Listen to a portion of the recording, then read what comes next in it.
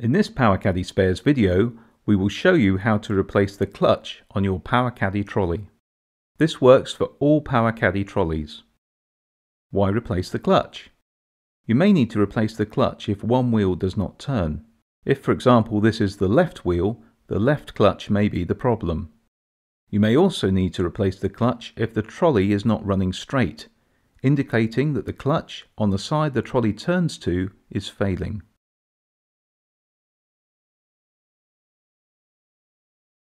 The parts you will need are a clutch. These come in left and right hand side variants. For example, the left hand clutch is on the left hand side as you walk with the trolley in front of you.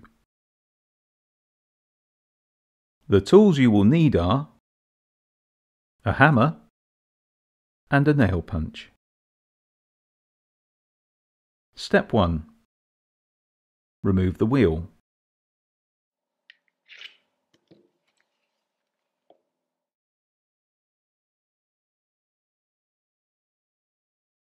Step 2. Knock out the pin holding the clutch onto the axle with the nail punch. It goes straight through the frame side of the clutch.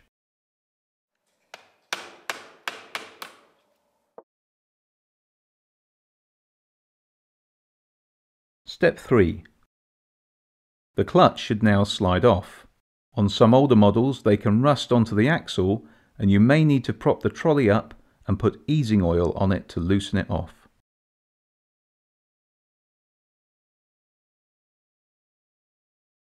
Step 4. Slide the new clutch on and attach to the axle with the new pin supplied.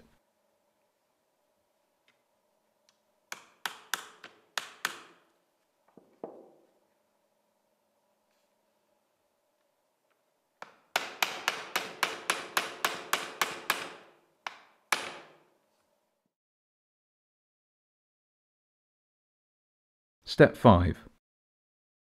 Replace the wheel.